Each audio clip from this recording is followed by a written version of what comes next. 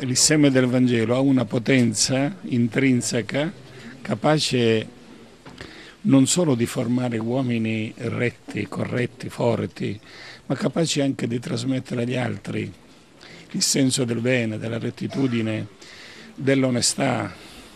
del vivere anche di poco, pur di non vendere la propria dignità, perché la, la dignità non ha prezzo. Naturalmente questo da solo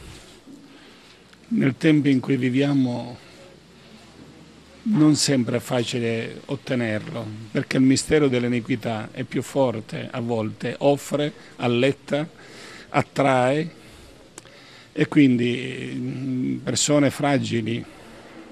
o bisognose facilmente sono condizionabili. Allora di qui un'opera che deve partire a livello formativo io direi a livello scolastico dovremmo mettere dei corsi stabili, soprattutto nel nostro sud,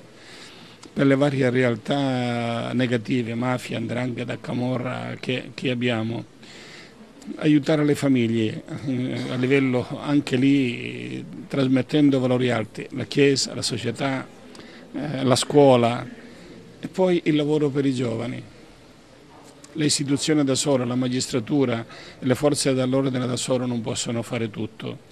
ma dobbiamo essere coscienti che la forza disarmante del Vangelo, come lei ha detto, e mi piace che l'ha detto pure lei, ha questa possibilità. Pino Puglisi è un esempio, è un modello.